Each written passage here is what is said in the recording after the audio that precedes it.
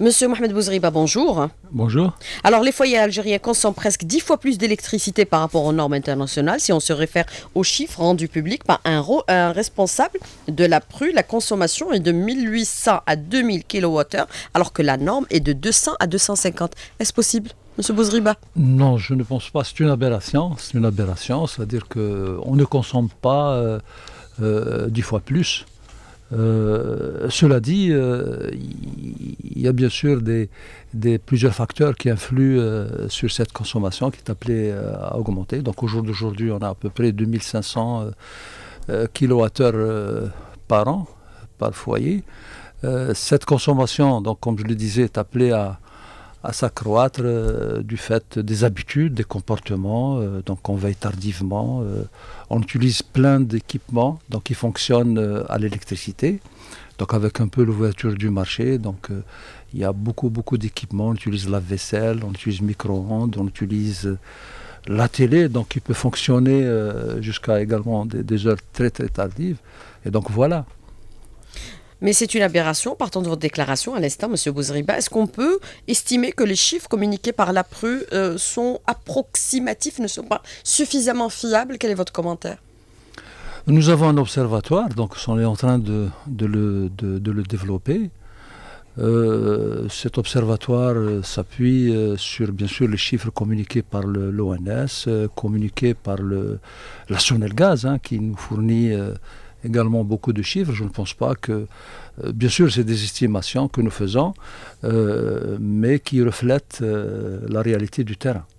Mais comment évaluer aujourd'hui la consommation énergétique en électricité en Algérie? Est-ce qu'elle est excessive ou c'est ce qu'il faut? Ou on est dans la moyenne? C'est-à-dire qu'au jour d'aujourd'hui, c'est vrai qu'on a engagé le programme sur l'efficacité énergétique. Donc c'est un programme c'est une activité de longue haleine, donc il faut euh, euh, lancer des programmes d'envergure, des programmes euh, importants. pour pouvoir par la suite évaluer, mesurer les, économies d'énergie qui avoisinent les 20 à 30%, donc ils sont à notre, à notre portée. Donc il y a un programme qui concerne le bâtiment, les collectivités locales, l'industrie et, et les transports. Mais à combien est notre consommation annuelle, M. Bouzriba? On est à peu près à 63 000 euh, TWh, mais qui, euh, qui, est appelé aussi à, augmenter parce qu'il y a de grandes infrastructures industrielles donc, qui vont euh, être installées. Il y a aussi le taux d'équipement des ménages, donc va aussi, donc ils vont encore s'équiper, etc. Donc forcément, cette consommation va s'accroître donc il y, a, nécessité à agir sur l'efficacité énergétique. Alors efficacité énergétique, comment on peut économiser l'équivalent de 30 à ou 20 ou 30% de notre consommation actuelle? Qu'est-ce qu'il y a lieu de faire? Est-ce qu'on peut considérer que par rapport aux habitations, on n'a pas euh, mesuré la portée de cette efficacité énergétique par rapport aux constructions réalisées? Oui, c'est-à-dire qu'il y, a plusieurs, il y a une multitude d'actions. Euh, euh, par exemple, le, bâtiment, il faut absolument euh, agir sur l'isolation des, maisons. Euh, il faut aussi introduire les équipements performants. Donc nous travaillons aussi avec les, fabricants de, climatiseurs, de, réfrigérateurs notamment. il faut agir sur également les comportements. il y a aussi des actions concernant le, le, transport. Donc là aussi, il faut absolument euh, euh, freiner un peu la dieselisation du parc. Euh, comme vous le savez, nous sommes importateurs nets de diesel et de, carburant. Donc il faut aller vers les carburants les, moins polluants pour, pour générer des économies d'essence. Au niveau de l'industrie également, il faut également accentuer l'effort pour aller vers la sobriété, pour aller vers les audits énergétiques et pour aller vers la rationalisation. Mais est-ce qu'en construisant, on n'a pas tenu compte de cette question d'efficacité énergétique, monsieur euh, Bouzriba Jusque-là, les programmes qui ont été engagés, est-ce qu'on en a tenu compte ou pas du tout? Euh, Au jour d'aujourd'hui, bon, c'est vrai que euh, l'efficacité énergétique, c'est une activité relativement récente. Cela dit, dans les constructions, il y a le, la double cloison, il y a l'isolation de, des toitures, mais ça reste insuffisant. il faudrait également isoler les, parois, il faudrait aussi orienter les, maisons Hein, vers, le, le sud. Et euh, dans ce cadre-là, nous avons lancé une opération euh, qui concerne 600 logements, donc qui sont répartis à travers le, territoire national sur différentes zones climatiques. Vous avez le sud, vous avez le littoral, les hauts plateaux. Euh, et donc l'objectif, c'est d'évaluer, d'évaluer les, économies et, nous sommes à ce stade-là. Donc il y a une opération de monitoring qui est qui est lancé pour connaître réellement euh, quelles sont les, économies engrangées par rapport aux mesures d'efficacité énergétique euh, donc, euh, qui ont été prévues dans les constructions. Mais est-ce que euh, aujourd'hui on tient compte de cet aspect-là, puisqu'on parle aujourd'hui d'efficacité énergétique dans les collectivités locales Vous avez tenu une réunion importante où vous avez associé toutes les parties concernées. Pourquoi particulièrement les collectivités locales par rapport à l'éclairage public exclusivement ou par rapport à la consommation au niveau des collectivités locales? Oui, il n'y a pas que les. C'est vrai que l'éclairage public est visible. Euh, il, est, il est visible et puis il impacte aussi, euh, bien sûr, le euh, le trésor public, puisque le, ministère de, de, l'Intérieur euh, paye une facture euh, assez, assez, assez élevée, mais il y a aussi le patrimoine. Des, des, collectivités locales, donc qui est très diversifié. Donc il y a les bâtiments, il y a les écoles, il y a également les mosquées. au jour d'aujourd'hui, on a à peu près peut-être 15 000 à 20 000 mosquées, ce qui n'est pas rien. Donc les transports également. Euh, donc l'objectif de, cette conférence, c'est d'expliciter les enjeux et les défis pour les, collectivités locales, de les impliquer un peu dans cet effort euh, d'efficacité énergétique. Je dois dire qu'il y a un engagement euh, très fort du ministère de, l'Intérieur, donc ce, qui nous a permis de, de mobiliser pour cette conférence plus de il y a 20 Wali, 200 présidents d'APC, donc ils sont directement concernés euh, par le, sujet. Euh, l'idée, c'était de l'objectif, euh, c'est de mettre en place une feuille de route donc pour les collectivités locales et de, de voir comment on peut élargir l'expérience de trois villes donc, qui ont adhéré à un programme européen et à Batna, Sidi Abbas et Boumardas, aux autres collectivités locales pour leur permettre d'élaborer des plans d'action dédié à, l'efficacité énergétique. Donc l'idée c'est ça, et, je pense que le principal acquis, euh, c'est la mise en place de la fonction efficacité énergétique au niveau des collectivités locales pour capitaliser l'expérience, pour pérenniser et pour suivre surtout les, plans d'action. Je pense que c'est extrêmement euh, important. Euh, de notre côté, on va renforcer les capacités de, ces, euh, hommes euh, énergie. Et, on va également les aider à, les accompagner pour qu'ils puissent mettre euh, correctement les plans d'action. Vous parlez d'une facture euh, des collectivités locales qui est très élevée, qui est endossée par le ministère de l'Intérieur et des collectivités locales. Est-ce qu'il y a eu des estimations chiffrées qui ont été communiquées, Monsieur euh, Bouzriba? Oui, il y a eu des estimations qui ont été chiffrées, qui ont été communiquées par le, ministère de l'Intérieur. Ça se chiffre à plusieurs milliards. Hein. C'est-à-dire que c'est une facture excessive et donc il faut absolument agir sur les, consommations. Et donc il, faut, il y a une circulaire d'ailleurs qui a été signée euh, entre le, Monsieur le ministre de l'Énergie et. Monsieur le ministre des collectivités locales euh, pour euh, mobiliser toutes les collectivités locales. Et je salue un peu cette initiative parce que c'est un partenariat c'est-à-dire qui traduit en fait l'intersectoralité de l'activité d'efficacité énergétique, qui n'est pas du seul ressort du ministère de, l'énergie et encore moins euh, de la PRU. Donc c'est une activité transversale qui euh, devrait impliquer euh, tous les secteurs.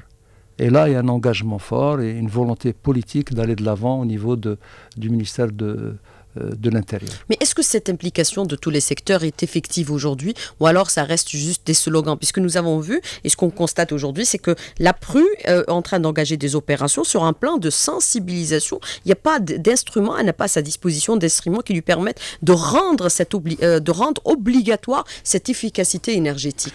Est-ce que vous allez passer à une seconde étape, oui, Monsieur Bizriba Tout à fait, c'est-à-dire que nous avons dépassé le stade. Bon, évidemment, la, sensibilisation doit être continue. Il faut continuer à sensibiliser, il faut euh, également mobiliser les, même travailler avec les, associations parce qu'ils sont aussi un relais important. Ils font un travail de, elles font un travail de, de proximité pour donner plus d'écho à, euh, nos programmes. Euh, au jour d'aujourd'hui, nous avons aussi dépassé le cap des projets de démonstration. Aujourd'hui, c'est les programmes d'envergure. Maintenant, l'heure est à l'action. Par exemple, dans le, résidentiel, il y a un programme de, 7 millions de lampes LED. L'éclairage public et public également, nous travaillons en partenariat, comme je vous l'ai dit, avec le ministère de l'Intérieur et nous envisageons de généraliser l'éclairage LED euh, au niveau de, euh, des collectivités locales. Par rapport au GPL aussi, euh, il y a un programme extrêmement ambitieux. Donc à l'horizon 2021, à moyen terme, nous allons convertir pas moins de 500 000 véhicules. Et tous ces programmes sont à notre portée. sont à notre portée. les ressources financières sont là. les acteurs sont prêts à relever le défi, puisque nous travaillons en étroite collaboration, on en concertation avec tous les acteurs, et ils sont prêts à relever le défi, ils sont prêts à, y aller. Est-ce que vous avez fait une estimation des économies qu'on pourrait faire aujourd'hui, par exemple oui, ça si on parle d'efficacité, par exemple, énergétique, sans aborder d'abord le GPL, parce qu'on va l'aborder dans la deuxième partie. C'est-à-dire que le, GPL, euh, c'est des économies d'essence. C'est-à-dire c'est c'est un aspect purement économique. Nous avons des, ressources euh, en GPL, il faut absolument les, valoriser, il faut les, utiliser. Et avec la récente euh, révision des prix de, des carburants, donc il y a un engouement il y a un engouement par rapport à, ce carburant et donc c'est plusieurs quantités d'essence de, qui vont être économisées euh, par rapport également euh, à l'éclairage euh, domestique, donc les lampes à LED, je vais vous donner une petite estimation. Si on devait changer ou substituer toutes les lampes au niveau des ménages, c'est carrément une centrale électrique qu'on va gagner, une centrale électrique de 450 MW. C'est pas rien. Alors, euh, monsieur euh, Mohamed Bouzriba, par rapport euh, justement à cette efficacité énergétique au niveau des collectivités locales, il en a été question il y a quelques temps de cela. Ce qui est relevé, c'est que les collectivités locales consomment plus de 80% de la production nationale. Le montant de cette, bien sûr, consommation s'élève à peu près l'équivalent de 13 milliards de dinars, alors que les créances non payées sont estimées à 4,8 milliards de dinars. C'est un haut responsable du ministère des collectivités locales qui l'a communiqué euh, récemment, c'est Nehla euh. Est-ce qu'on peut considérer aujourd'hui que c'est sur ce segment particulièrement qu'il faut travailler ou alors ouvrir le champ partout? Parce que c'est vrai que cette consommation, elle est euh, importante.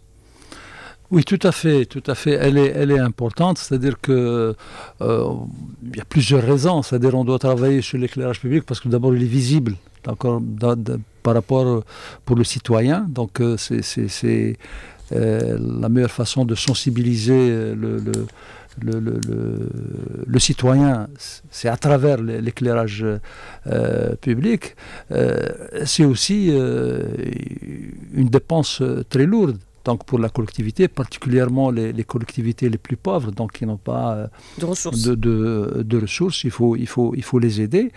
Et justement, l'efficacité énergétique est un moyen d'atténuer ce fardeau d'atténuer ce fardeau. Euh, et donc, euh, il faut absolument agir sur le, cet éclairage public en le modernisant, en substituant les lampes par des lampes LED Et, là, euh, euh, on peut même intervenir euh, par rapport au photovoltaïque, c'est-à-dire au niveau de, certaines zones, particulièrement le sud. Donc, Monsieur le ministre de l'Intérieur insiste beaucoup sur, sur le développement de, cette région-là.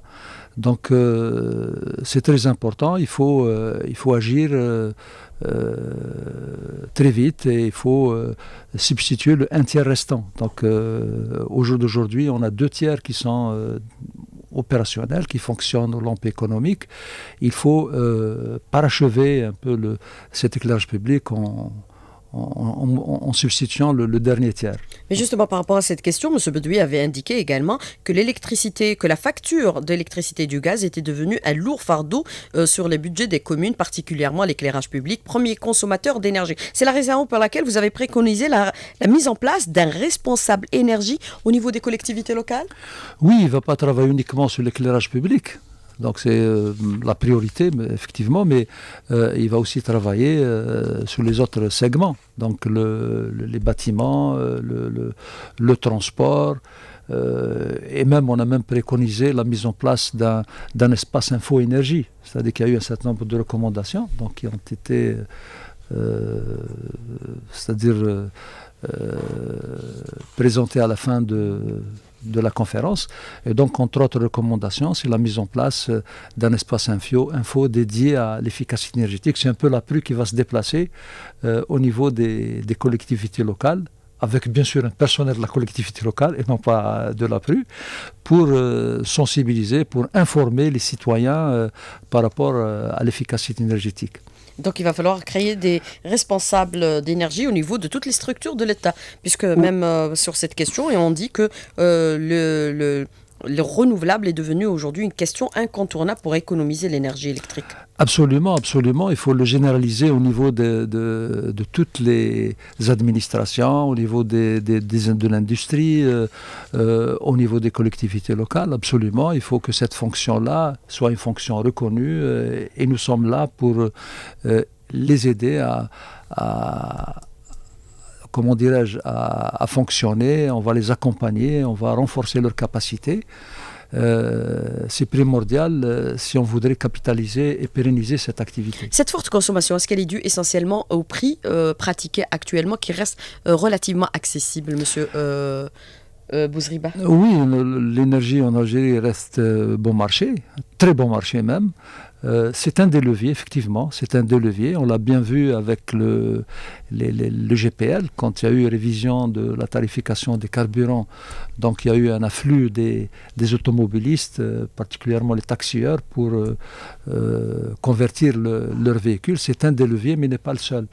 Il y a aussi les habitudes. Oui, oui, voilà. Il y a aussi les habitudes. Il y a aussi les habitudes. il y a aussi le nombre d'équipements qui fonctionnent à l'électricité. Donc tout cela contribue à, à l'augmentation de la consommation. Alors, est-ce qu'il est nécessaire aujourd'hui de réviser cette, cette facture ou ce prix de l'électricité, puisque toutes les manières, tout le monde s'accorde à dire que c'est incontournable? Oui, ça c'est la politique de, l'État. Euh, euh, mais tout ce que je dirais, c'est un délevier euh, qui devrait nous permettre de, rendre l'efficacité énergétique attractive. C'est-à-dire qu'on a des temps de retour sur investissement qui sont relativement longs par rapport aux autres pays. par exemple, au niveau de l'industrie, tant que l'énergie est, à bon marché, les temps de retour ne vont pas être intéressants. C'est-à-dire que vous allez récupérer votre investissement, au lieu de le récupérer en 2-3 ans, vous allez le récupérer en 10 ans. Euh, ça n'intéresse pas les industriels, par exemple. Alors aujourd'hui, vous mettez en place un plan qui va se développer à l'horizon 2030 euh, pour bien sûr cette efficacité énergétique et la rationalisation de la consommation énergétique. Vous mettez en place déjà le kit GPL, puisque pour le GPL, pour, pour économiser un le prix euh, du carburant, puisque l'Algérie l'importe à coût de 2 milliards de dollars, vous prenez en charge à équivalent de 50% euh, l'installation du kit GPL dans les véhicules de particuliers? Tout à fait, tout à fait. C'est 50%. Euh, donc euh, pour le, le, kit le plus cher. Donc le. C'est une incitation? C'est une, c'est une incitation, c'est une incitation. Il y a un engouement des, des particuliers, des, des, automobilistes. Nous allons bientôt lancer. Bon, pour le moment, nous travaillons avec. pour il y a le programme de qui concerne les particuliers. Nous allons bientôt lancer le programme Taxi Vert, donc qui concerne les taxieurs. Taxi Vert? Oui, donc pour leur permettre de, de convertir leur véhicule. Et là, il faut une programmation rigoureuse parce que c'est leur gagne-pain. Il faut absolument faire en sorte que, les taxis puissent convertir euh, leurs véhicules. Nous travaillons avec le ministère des Transports et avec les syndicats des taxis pour euh, mettre en place euh, la procédure. Mais quand mm. allez-vous la rendre effective, cette disposition, M. Bouzriba? C'est imminent. C'est imminent. Dès qu'on aura mobilisé les financements nécessaires, euh, on lancera le, programme qui sera accompagné par une campagne euh, de, sensibilisation euh, ciblant les taxieurs.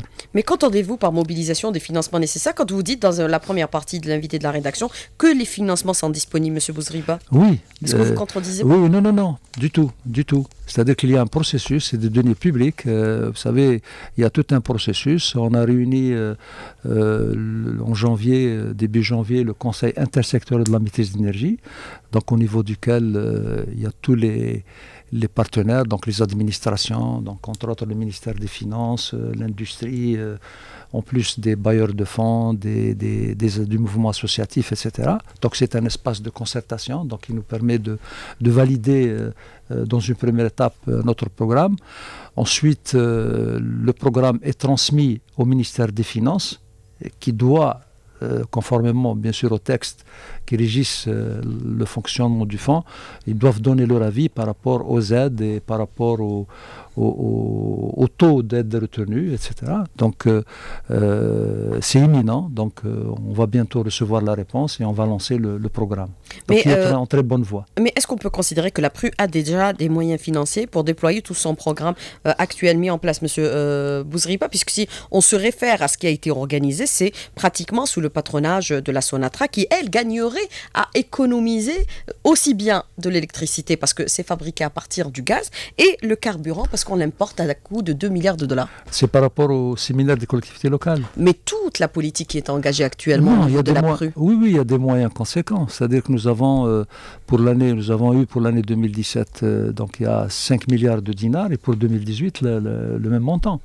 Donc c'est, ça avoisine 5 milliards de dinars, donc ça, avoisine les 30 millions d'euros quand même, c'est pas rien. Mais est-ce que Sonatrach devrait s'impliquer davantage? Parce que ça va faire aussi des économies pour Sonatrach en termes de carburant pour le GPL On l'apportera plus autant de quantité pour 2 milliards de dollars. Et puis pour euh, l'électricité, parce que nous sommes un pays qui fabriquons de l'électricité à partir du gaz. Donc on gardera cette, euh, ce gaz pour d'autres fins, pour l'exporter éventuellement. Oui, je pense qu'il faut, oui, c'est une façon aussi de... Absolument. On pourrait réfléchir à un mécanisme pour euh, impliquer, euh, impliquer la Sonatrach. Ça existe dans d'autres pays, euh, c'est-à-dire non seulement avec Sonatrach, mais aussi avec la compagnie d'électricité. par exemple, on pourrait imaginer... un mécanisme pour le chauffe-eau solaire, c'est-à-dire on pourrait réfléchir à la mise en place d'un fonds pour chaque euh, mètre cube de gaz ou pour chaque, économiser, euh, on, peut imaginer euh, le versement d'une subvention. C'est faisable. Mais pour le moment, ça n'existe pas. ou d'un encouragement, comme ou pour les assurances, absolument. les malus et les bonus. Absolument, absolument. C'est-à-dire qu'on pourrait imaginer, si on évitait la, mise en place d'une centrale électrique, par exemple à la Sonel Gaz, elle pourrait, euh, elle, devrait aussi mettre, par exemple, de, l'argent au niveau d'un fonds. Donc c'est faisable. Mais pour le moment, euh, Sonatrach euh, fait les bouchées doubles par rapport à son programme d'efficacité énergétique. Nous avons un, programme ambitieux avec la Sonatrach donc, qui englobe des, formations, la formation d'auditeurs, la mise en place de la norme sur le management de, l'énergie, l'audit de, de ces installations. Donc euh, il y a un programme euh, très, très ambitieux qui, est en train de se mettre en place. Alors euh, une question d'un auditeur, il vous dit, est-ce que par rapport au programme que vous annoncez, vous énoncez à l'instant, Monsieur Bouzriba, il y a un suivi par rapport aux résultats obtenus? Ou alors on lance des programmes sans bien sûr qu'il y ait une continuité dans le suivi et dans la remise des résultats? Oui, donc il est pour le moment, pour le moment, il est, il est prématuré d'évaluer l'impact parce que jusqu'à maintenant, par exemple, je prends l'éclairage domestique, on a lancé pour les lampes LED. Oui, oui, pour les lampes LED, comme je vous l'ai dit, on peut économiser jusqu'à une centrale euh, électrique de 450 MW. Nous, nous, sommes en train de développer un observatoire de la maîtrise de l'énergie qui devrait aussi nous permettre d'évaluer les gains. Absolument.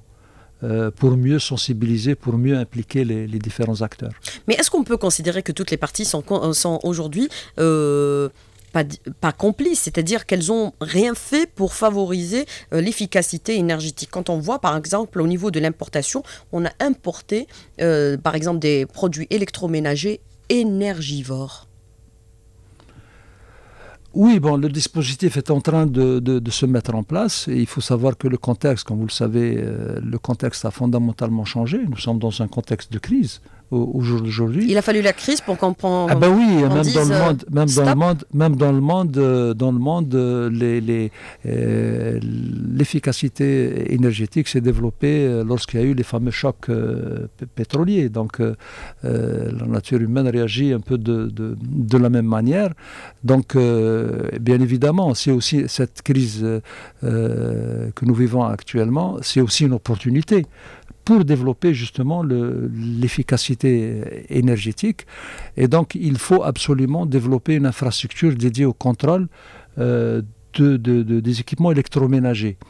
Euh, c'est vrai qu'aujourd'hui, on mise, beaucoup sur le comportement euh, des ménages, mais il faut d'un autre côté crédibiliser notre démarche en introduisant ces équipements performants nous y travaillons euh, avec les, acteurs euh, concernés et nous allons passer de l'étiquetage aux normes de performance. Et il faudrait que, euh, au fur et à mesure, progressivement, on élimine du marché les classes les plus énergivores. C'est la démarche qui est préconisée dans tous les pays du monde. Euh, certains pays ont, mis 10 ans pour euh, assainir leur marché. Euh, nous, nous en sommes encore à l'étiquetage, mais il nous faut absolument cette infrastructure qui fait défaut aujourd'hui. Est-ce que vous travaillez avec, par exemple, les services concernés, à savoir les douanes d'abord pour mettre en place des normes? Est-ce que vous travaillez avec les producteurs pour mettre en place ces normes aujourd'hui, Monsieur Bouzriba? Oui, la loi, la loi. Bon, on travaille bon, avec la douane. on n'a pas travaillé avec la douane, mais on travaille avec tous les autres acteurs. Mais il y a la loi sur l'efficacité énergétique, sur la maîtrise d'énergie qui est en voie d'amendement. Et euh, nous avons euh, mis l'accent sur le contrôle de l'efficacité énergétique qui jusqu'à jour d'aujourd'hui fait défaut. C'est-à-dire que dans la, version euh, actuelle de, la loi, ce volet contrôle n'est pas bien mis en évidence. Alors très rapidement sur cette question, on dit que les lampes LED qui sont commercialisées au niveau du marché sont contrefaites. C'est le cas. C'est l'association des consommateurs qui tire la sonnette d'alarme. Oui, bon, la contrefaçon, c'est un fléau, euh, j'allais dire, euh, national qu'on retrouve un peu partout. Euh, pour le contrecarré, bien sûr, il faut travailler sur le contrôle et ce sont nos partenaires. Donc cette association-là, c'est notre partenaire. on a une convention, on est en train de préparer une convention pour les associer au contrôle. Il faut absolument contrôler les lampes avant de les donner aux, aux, consommateurs, aux citoyens. Et dans un futur, c'est-à-dire, c'est-à-dire dans une étape ultérieure, il faut aller même vers la certification pour protéger le marché, le consommateur et le marché. Vous allez sévir et agir? Absolument. Alors, euh, une question, ou plutôt une interpellation d'un auditeur qui vous dit Je m'excuse, nous avons une énergie solaire, utilisez les voitures hybrides, c'est l'avenir aujourd'hui, au lieu d'aller vers le kit GPL. Quel est votre commentaire très rapidement? Oui, il faut une veille technologique, il faut absolument euh, assurer, même pour la voiture électrique, donc il faut euh, assurer cette veille technique, mais nous avons aujourd'hui une ressource qui est abondante, le GPL, on fait avec. Monsieur Mohamed Bouzriba, merci d'avoir répondu à nos questions et d'avoir été en direct avec nous ce matin dans le studio. Merci beaucoup. Merci. Et bon courage. Merci.